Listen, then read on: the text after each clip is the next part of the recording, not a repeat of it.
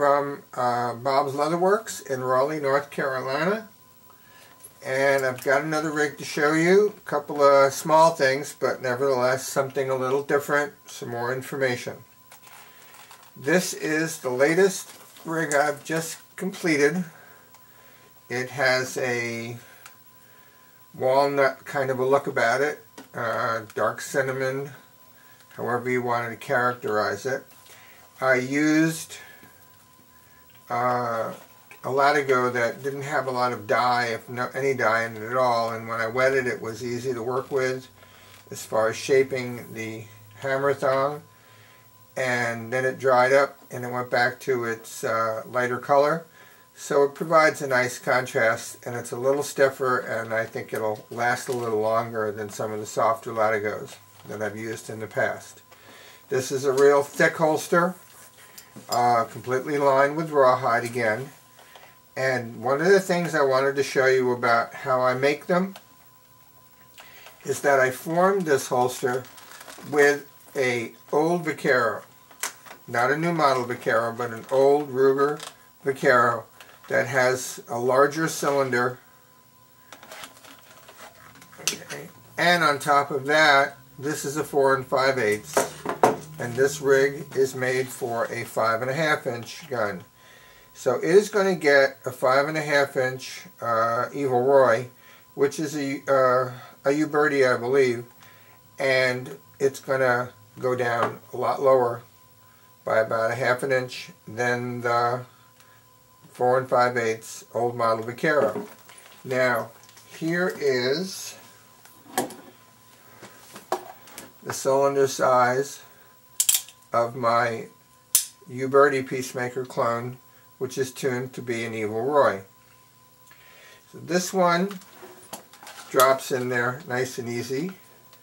Take this one out of the shot.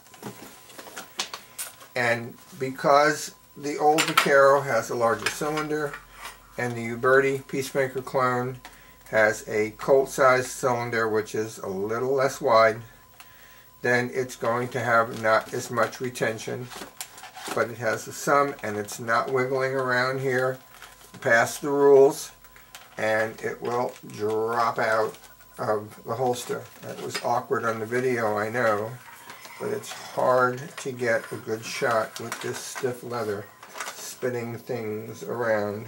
Get this out of the way. Let's try it again. There we go.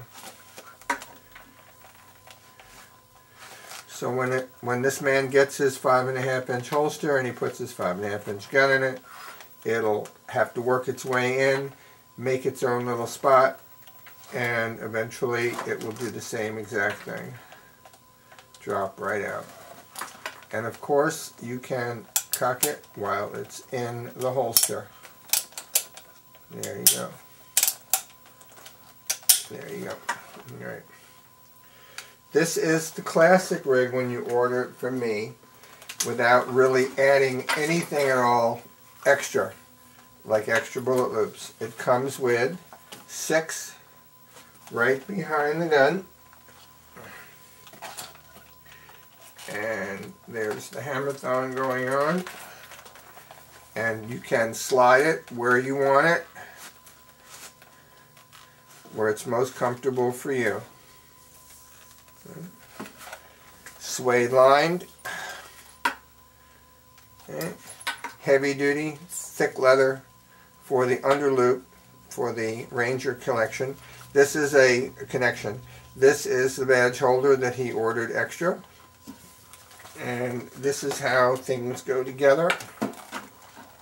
Just like that. And I'm not going to put this through and engage it because I don't want to put any marks on the billet. This is brass. He's got a brass Ranger Star Concho on his holster. That.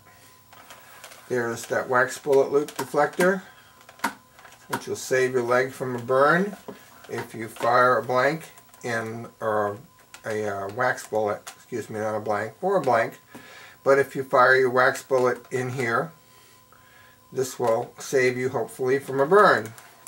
This is the snap out for the holster strap. Here is the sewing, which you really can't see, for the slide that's in here that's guiding the holster along the belt. Here's this gentleman's initials, LM, my stamp, and on this one here, let me slip this out of the way.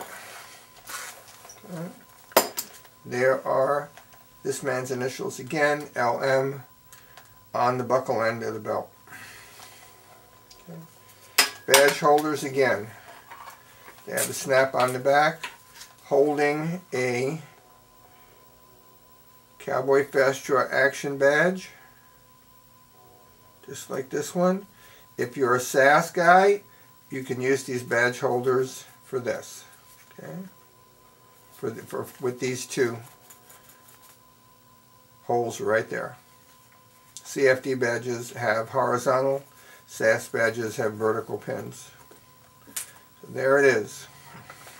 Okay. Again, suede line. The suede matches this color pretty close actually. You can see. They're very much the same. Just happened to work out that way. Okay. The only rivets in this rig are the two that are holding this strip of leather which is laced through the front surface piece of leather and riveted on. Then the second piece of leather goes on and then the suede goes on last and then it all gets edge sewn. So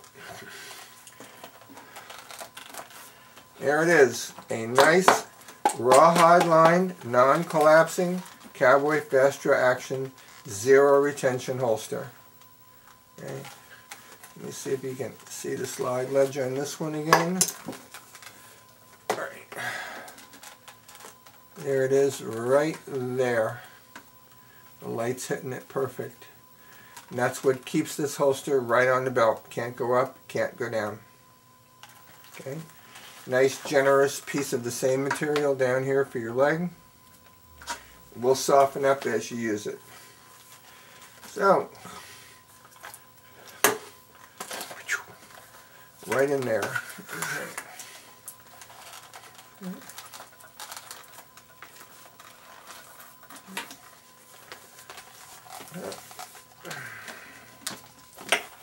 Here you go.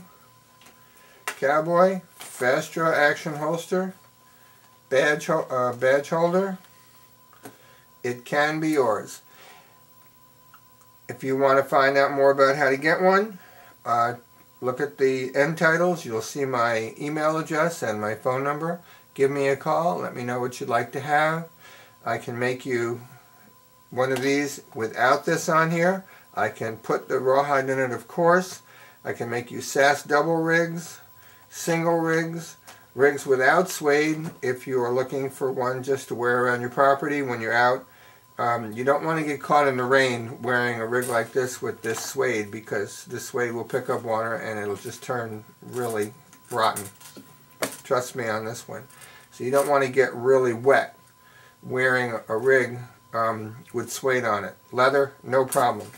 This is finished with Kiwi neutral shoe polish, wax shoe polish, so it provides a percentage of uh, waterproofing and you can polish it just like a pair of shoes keep this look about it. Okay. And you can change your buckles too because these are Chicago screws. So buckles can be changed. So thanks for watching and give me a call again if you want to find out more about how to get a rig for yourself. And that's it.